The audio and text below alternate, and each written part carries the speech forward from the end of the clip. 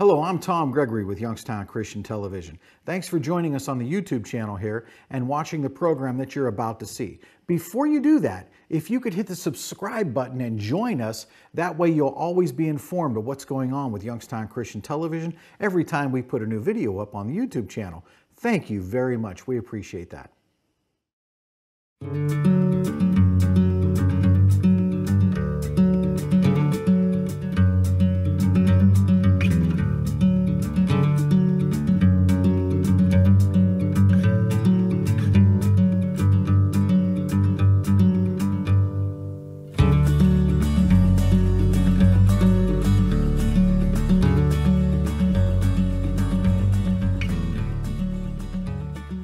Hey, welcome back to What's the Bible Say About?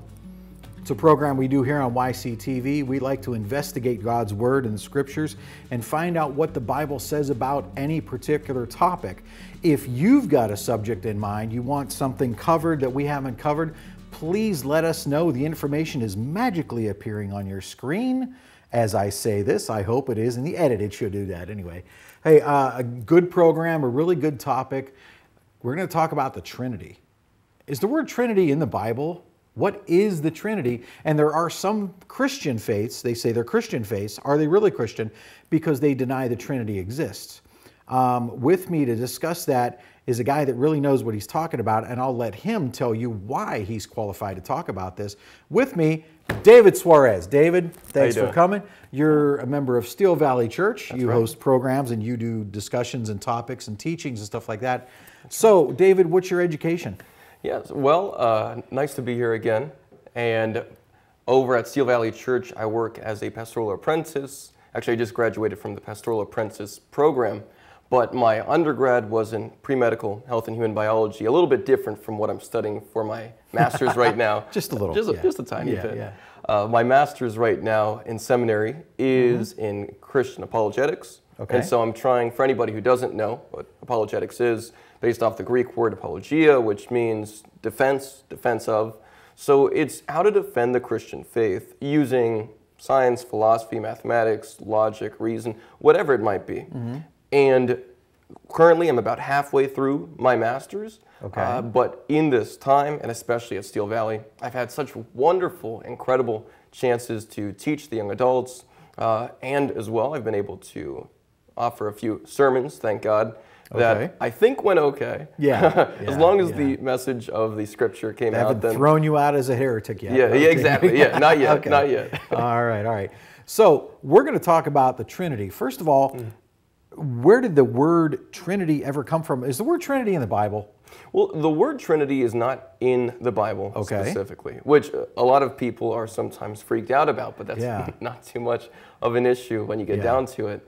Uh, and the term Trinity is actually a very early church concept. Uh, I, I'm forgetting specifically the individual in the third century who had actually coined the term. But the concept is actually an Old Testament concept that was held by many Jewish leaders and rabbis. Oh, really? Even in the BC period. Okay. Uh, in some cases, and you could see this from Dr. Michael Heiser, the late and great Michael Heiser. I know he passed away earlier this year, but he would speak on the two powers of heaven, which is this doctrine held by many Jewish people before the birth of Christ. That there was this sense in which there's this multiplicity of persons in the Godhead. Uh, and, and this is because it's found in the Old Testament. Some Jewish leaders would say, even in the Talmud and other rabbinic writings as well, or pre rabbinic writings, they would state that there seems to be a sense in which God and His Word are distinct persons. Then, according to some excellent Hebrew literary work from other scholars, like Anthony Rogers, incredible work on his end, it seems as though many other Jewish writers would read Genesis and they would write commentaries about Genesis. You see, it's not just us modern Christians writing commentaries on the Bible. Sure, yeah. Even in the BC era, you know, you still had uh, rabbis and teachers doing this. And they would actually write in Genesis a distinction between God and then God's word still being God and then his Shekinah, which they would actually equate to the Spirit of God. as we see in Genesis chapter 1, verse 2, Sure. where the Spirit's hovering over the surface of the waters. Okay. So, this notion of a plurality of persons in the one God is actually a very, very old idea. Yeah. Which eventually, in the AD era, started to get its own formulation, its own wording, Yeah. so to speak. Well, didn't that start in Genesis 1 1? It did. It did, in, in a very real sense. And, and, and uh, no, I'm sorry, not Genesis 1 1. Well, no, when it says In the creation God- of man, let us create man in our, image. That's right. Genesis Yeah. chapter 1. Yeah. That's, that's correct. That's actually part of the argument for this plurality of persons in the one being, God. Okay. Because in Genesis 1, verses 1 to 3, right, even Genesis 1, 1 to 2, you have, Mm-hmm. in the beginning, God created the heavens and the earth. Uh, and also later, you know, the Spirit of God hovers over the surface of the waters. Mm-hmm. But then later in Genesis chapter 1, you do see God using this very interesting uh, description of himself. He says, Let us make man in our image. Mm-hmm. And this is important because whether someone's Christian or a non-Christian Jewish individual, maybe they're they're Muslim, everybody would agree that angels play no part in the creation of man. You Yeah, know, like we, yeah. we angels, we are not made in the Yeah. image of angels, right? So when God says, "Let us make men in our image," if someone said, "Well, he could have been talking to the angels," I would say, "Well." Were we made in the image of angels? To which they would say, Yeah. no. And I'm like, okay, there we go. So Yeah. back to what's happening, it mm-hmm. says, let us make man in our image, right? Okay. So that means that God is speaking, but he is speaking with an us or a we. Mm-hmm. Some people would try to get around this by saying, well, maybe he's using some sort of a royal we, like uh, Yeah. the king and queen in England. Yeah, But this is anachronistic. Yeah, That's some reading people speak in the third person. Yeah, Exactly. Yeah. That's what they would try to say. But the issue is that's an anachronism, right? That's reading modern ideas and something outside of Jewish ancient Hebrew. Mm-hmm. We're reading that into the Hebraic text. So some people would say, God said, let us create man in our image. So God must look like us. God must look like a human, right? I've heard that. So Yeah, I, I have what heard do you got as for well. that? So people take image in a very weird way. Mm-hmm. They, they think of image as some sort of physical, identical representation, when that's not really what's happening in the text. Yeah. Image is supposed to say that there's some sort of similarity between God and the specific creation, mankind. Uh, to be made in one's image is to be made literally in their likeness, in the likeness of their nature, uh, perhaps even in the likeness of what makes them unique. Right? So, God, being creative, because He is the one that creates all things, makes mankind creative. Humans are very creative, right? We make Oh, yeah, tools, we make yeah, buildings, we make yeah. music for some reason, uh, which is amazing, but we, We don't make television shows. Exactly. That's right. And complex things too. Television shows that have all of this. It's very interesting how creative in a complex way humans are. Yeah. And that is unique. So when God says, uh, you know, that He's going to make us in His image, it's these qualities of God, right? Uh, a sense of superiority, right? That He makes us to have dominion over the earth, over the animals, uh, the birds of the air, the Oh, fish yeah. of the sea. Yeah, yeah. That dominion exerted is a way that we image God, who, Mm-hmm. of course, is supremely sovereign over creation. Yeah. And so, in all of these different aspects and attributes, we do have a real sense of imaging God, uh, reflecting God's nature Mm-hmm. in some of the attributes. Now, of course, in a finite way, because humans are finite, we're limited, God is unlimited, He's infinite. But in these finite ways, humans image certain aspects of God's nature, all to His glory. By showing these little aspects of it, we actually reflect Him. God being personal, mm-hmm. which the Trinity, if it's true, makes sense given how God made humans. Mm-hmm. Humans are personal.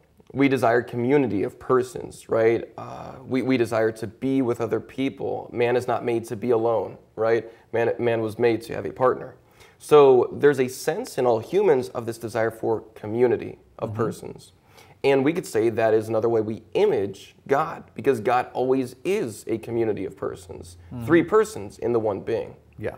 And so the more you look at humanity and the weirdness of humanity, the good weirdness, the more you start to understand what it means to uniquely image God, to be image bearers, to have the imago Dei, is what usually used in philosophy and Yeah. apologetics. Yeah. Heard that. Yeah.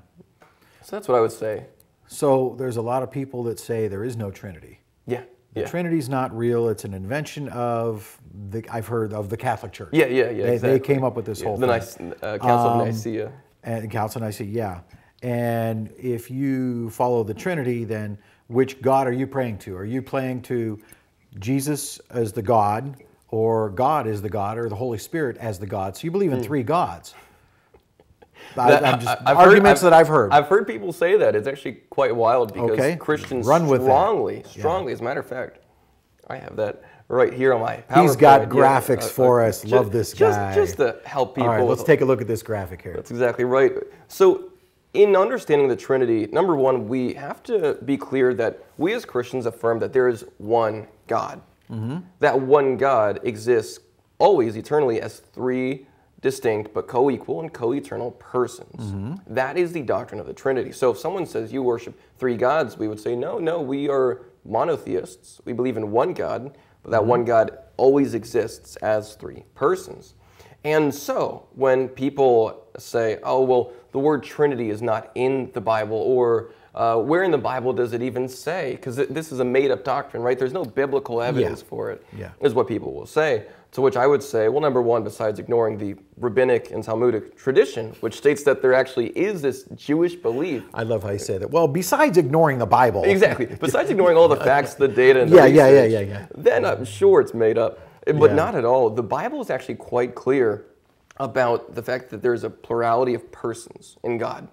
And so when we speak about the Trinity, often people will say, well, okay, a lot of times people can believe or the Father is God. Sure enough, fair enough. yeah, I'm with you. Yeah, right. A lot of people will say that, but they'll say, "Well, you're saying the Son is God. That's that's kind of strange." Well, Mm-hmm. not really. If when we say God, we're saying the divine essence, the the divine essence, the divine nature. If that is God, then when we say the Father is God, He fully has the divine essence. The Son is God, so He also has that same essence, and the Holy Spirit has the same essence. So that's what we're saying when we're saying God. Mm-hmm. Now, only to use one scripture, people watching the uh, PowerPoint are going to see a lot of scriptures on screen, Sure. but only go through a few for the sake of each of these passages. Where does the Bible say the Father is God? Just to clear all of our bases. Sure.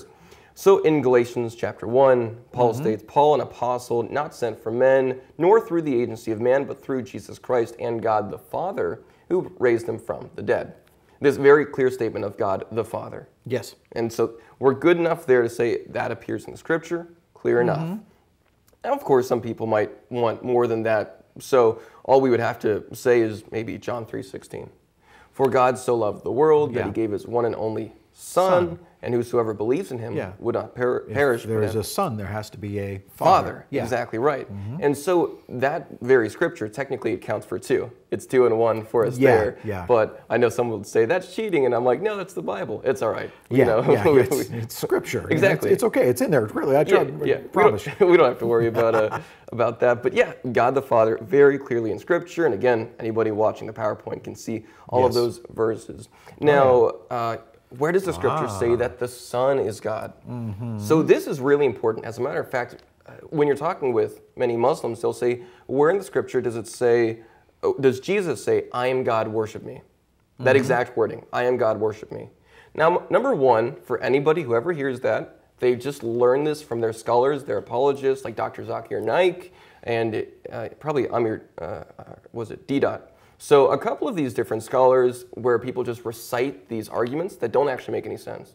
We don't need exact wording to prove something. No, that's true. Like that is the exact word fallacy where they would say, okay, well, where does Jesus say, I am God, to worship me? Also, there is a Trinity in this book of the Bible. We don't need that exact wording. It's a pointless argument. Yeah. But Jesus does say that he is God. So let's go through some scripture that's relevant mm-hmm. to this topic. All right. Number one, mm-hmm. In Isaiah 44 6, it is quite clearly stating from the Lord who is speaking, Yahweh. That's when, it, when you mm-hmm. see Lord, that means Yahweh. I am the first and I am the last, and besides me there is no God.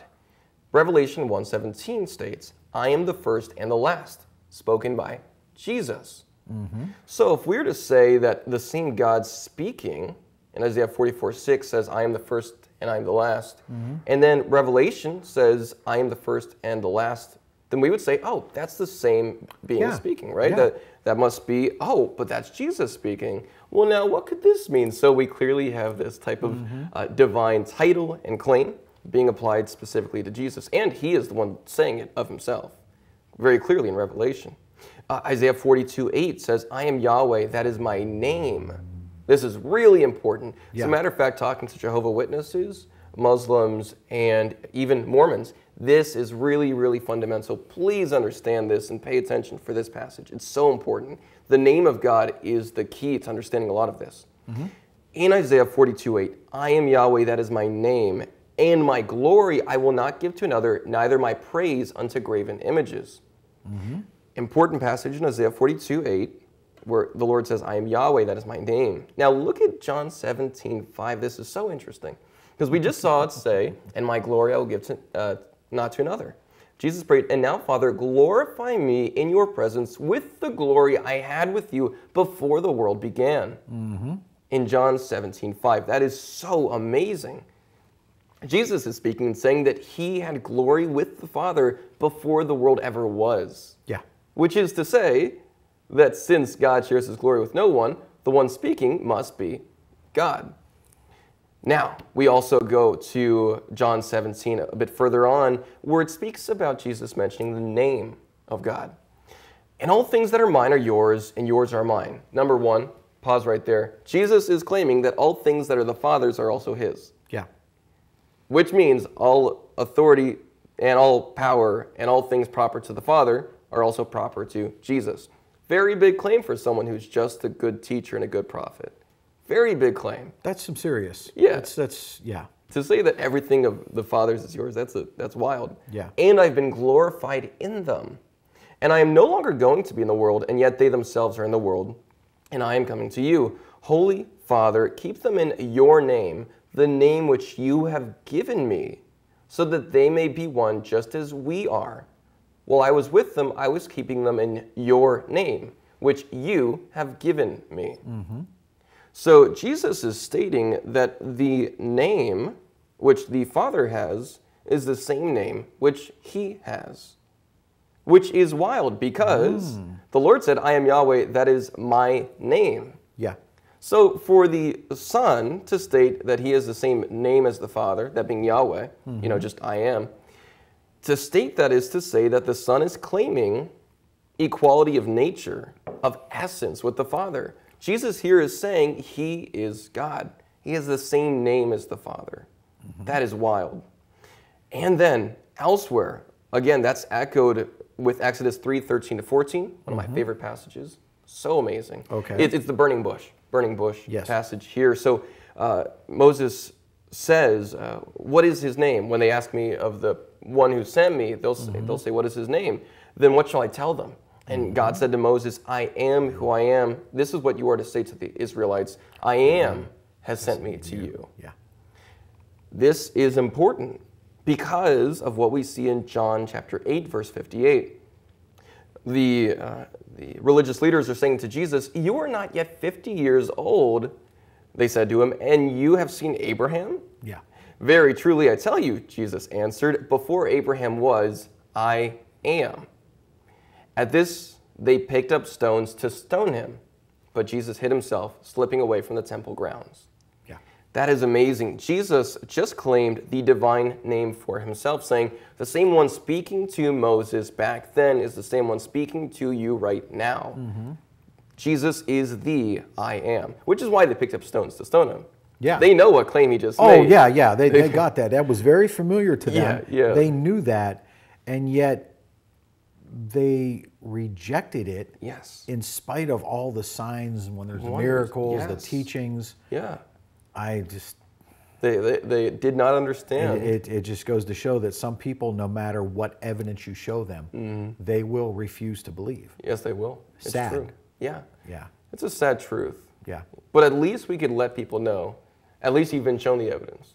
A- At least it's on you. It's on you. It's your fault that you heard it and you just said, nah, I don't, I don't care. Yeah, that's true. Yeah, Right. we're called to proclaim and to teach and spread the message. Exactly. We're not commanded to convert. Yeah. That's the Holy Spirit's job. That's exactly And right. speaking of the Holy Spirit, Yes. we've covered Father, Nice. we've covered Son. I believe Trinity is three. So right. where's the third person here? Yeah, well, you know what's funny? Uh, when it comes to, and I had so many verses about the Son of God that uh, I had to make extra slides, but the Holy Oh, yeah. Spirit is uh, a person of the Trinity that people often don't put as much work into understanding where the Scripture speaks about him. But Yeah. it's actually quite clear that the Holy Spirit is given the names and titles of God Mm-hmm. often. Uh, for instance, Acts 5, verses 3 to 4 says, But Peter said, Ananias, why has Satan filled your heart to lie to the Holy Spirit and to keep back some of the proceeds of the land? While it, was, while it remained unsold, did it not remain your own? And after it was sold, was it not under your control? Why is it that you have conceived this deed in your heart? You have not lied to men, but to God. So, in this same passage where Peter says that Ananias lied to the Holy Spirit, he then mm-hmm. ends by saying, You have lied to God.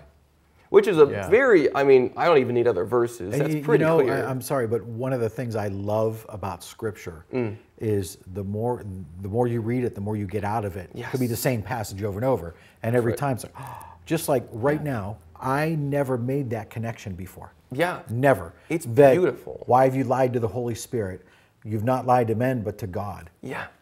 I've never made that, and I've read that. I know the story. His wife and he, they That's right. Mm-hmm. conspired. They carried his wife out. Now they're going to carry him. Yeah, Mm. um, and uh, I never made the connection. So I Yeah. love, I love this book is alive and true, Yes. and it's so powerful. I love this book. Amen. Yeah. And, and it's, it, it's even more mind blowing the more we go through it. I mean, even in 1 Corinthians, don't you know that you yourselves are God's temple and that God's Spirit lives in you? Mm-hmm. So, number one, it says that you are God's temple. Yeah, But then it says, And do you know that your body is a temple of the Holy Spirit, who is in you, who you received from God?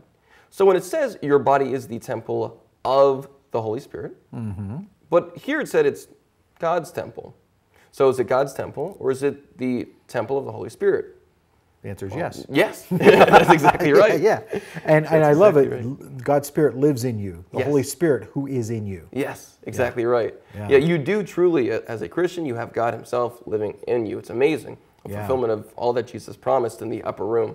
Uh, and it continues to amaze me. Second Corinthians, this one I didn't even know about until doing some of my research. Mm-hmm. Second Corinthians 3.17, now the Lord is the Spirit. And where the Spirit of the Lord is, there is freedom. So, Lord is a term generally, and again, it's a title used to describe God. Yes. Throughout the New Testament, of course, in the Old Testament, but throughout the New Testament, Lord is used to describe God often. So when it says now the Lord, as in just this generic term for God, is the Spirit, then that means that Paul here in 2 Corinthians is making a very clear ca- uh, claim. The Lord is the Spirit, as in the Spirit is the Lord. The Spirit is God. So these titles that are given to the Father and the Son, right, both called Lord, is also given to the Holy Spirit, who is also called Lord. It's incredible, and it just Yeah. continues to amaze me. I mean, elsewhere, he also is given the attributes of God.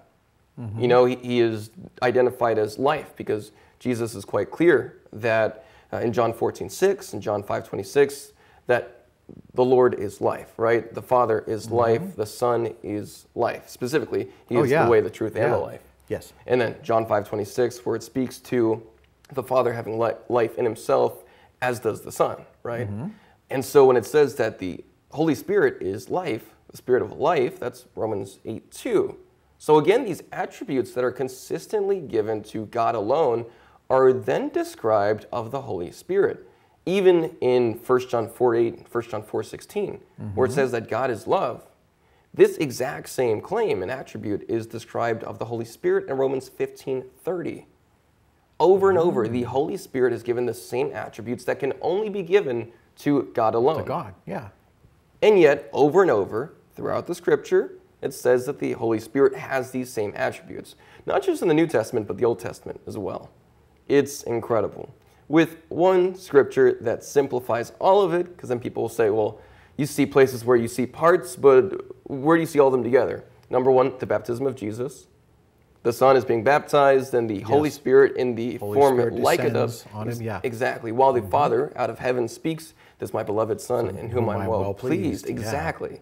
So that's an instance where we see all three persons, distinct persons, but one God, one divine essence, proper to each of them. Or to bring up the name thing again, when it comes to uh, this this iconic passage, I believe it's going to be found. There it is in Matthew 28, 19 is the Great Commission. That leads my next question. Where in the Bible are we bringing this together? Exactly, I which is an just important going question. to ask because that's important. Yes. So you're on it. Go it's ahead. perfect. Matthew 28, 19 says, Go therefore, this is Jesus speaking. So Yes. everybody knows, where Yeah. because sometimes we'll say, So it's oh, not this is David a-" speaking, this is- Exactly. yeah, yeah. And sometimes people say, oh, that was an apostle. I'm like, no, this was Jesus. Yeah. So Jesus says, Go therefore and make disciples of all nations, baptizing them in the name, the name of the Father and the Son and the Holy Spirit. Mm-hmm. We already described back in Isaiah the meaning of God saying that He has one name, that is Yahweh and, and his glory alone. Mm-hmm. So why does it use, and again, just to make it really clear to people, I made some slide about the Greek here. Okay. Name is for sure singular. This is good. Yes. That is singular. So why on earth does it say the name singular of the Father, Son, and Holy Spirit? Well, that's because, as we've already understood and read and seen, there is one name mm-hmm. that is proper to the Father, Son, and Holy Spirit, and that is Yahweh. The same Yahweh, the same I am from Exodus 3, uh, 13 to 14, and Isaiah 42, 8. That same divine name is said of the Father, and of the Son, and of the Holy Spirit. Therefore, in that passage alone is a claim to three persons, one being. It's incredible. Wow. Yeah. Well, we got about two and a half minutes left in the Nice. program. So, what are your final thoughts on this? Yeah, I I would say number one, the Bible is quite clear that there's a plurality of persons. Even in Genesis, it says in Genesis chapter 19, uh, in Sodom and Gomorrah, the Lord on earth rained down fire from the Lord in heaven. It used the word Yahweh. So people who claim that there's no evidence of multiple persons in the one being, Yeah. what I would say, lovingly, of course, is read your Bible. Read your Bible. Actually give it a read. Look at what's being said and understand the nature of God through Scripture. Yeah. Of course, I have other slides about the philosophical argument for the Trinity, but that's different. That's mm-hmm. different. From the Bible alone, you can very clearly see that the Father, the Son, and the Holy Spirit are all God. Not three gods, one God Yes. in three distinct persons. Personalities and persons and Yeah. and and uh, you are a very intelligent person. Oh, praise God. Seriously, you so I, I love that. I'm, I'm getting that. I hope you're getting this too. Uh, very insightful, very knowledgeable about what you were talking about with the Word of God. You've obviously done your studying, Mm. and uh, commend you for that. Thank you for being faithful to that. That's just wonderful. Uh, folks, we're just about out of time here. Um, uh, would you continue this further for us into another program? Oh, Yes. Because I think there's a lot more you have. We've gone through about six, maybe seven slides of, of information. And how many do you have prepared here? Uh, about 33. About 33. Okay. Well, you've got one minute to go through the rest of them. So. All right. Uh, just got to crack my knuckles for it. Yeah, yeah, yeah. Now here we go. Game on, right? Yeah, yeah. But I, I appreciate that. All glory to God. I, I, Amen. I know Amen. only by the guidance of the Holy Spirit would I be able to have the time to focus and see what the Scripture is teaching. Oh, so yeah. honestly, I thank God for all that He is and all that He does. Yeah, very true. And as always, on what's the Bible say about don't ever take our word for it. Read the Bible for yourself. Any good minister, any good preacher of any good sermon will want you to do the same thing as the Bereans did. Yes, They Bereans. examine the scriptures to see if these things were really true Mm. instead of just discarding it. Uh, the Christian faith should never be a blind faith That's right. go into this with your eyes wide open and your heart wide open Hmm. to God's truth and God's word. And that's all the time we have for today on the program. David, you're going to do this some more for us, I hope. Oh, yes. All right, very good. Look for those programs coming soon. Um, don't know what we're going to call them, but we're going to make them. Right on. All right. Thank you, sir. Thank and you. And thank you for watching.